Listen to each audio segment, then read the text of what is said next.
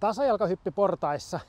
Ota tiukka keskivartalo, otat käsillä vauhtia tarvittaessa ja hyppäät seuraavalle portaalle. Jousta alas tulossa, niin saat siitä jatkuvan liikkeen.